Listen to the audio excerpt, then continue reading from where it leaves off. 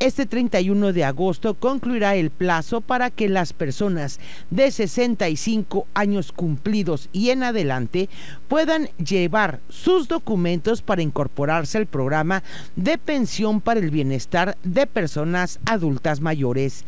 En el caso de Acapulco, afuera de los cuatro bancos del bienestar que se tienen, se está brindando atención con un horario de 9 de la mañana a 4 de la tarde.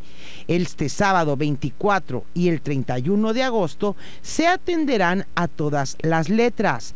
Rosa Tadeo, de 73 años de edad, platica que por cuestiones de salud no había podido registrarse para este apoyo. No había hecho ningún proceso por motivos personales y enfermedades. Pero ahorita ya estoy ready.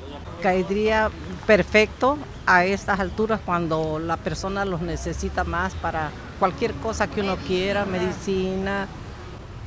Los tratamientos son caros y perfecto llegó.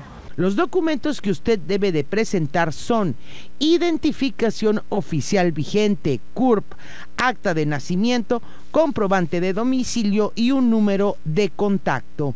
En Acapulco también se tienen módulos de recepción de documentos en el Centro de Convenciones, Parque Manzanillo, Unidad Deportiva Jorge Campos, Comedor Comunitario de la Colonia Emiliano Zapata.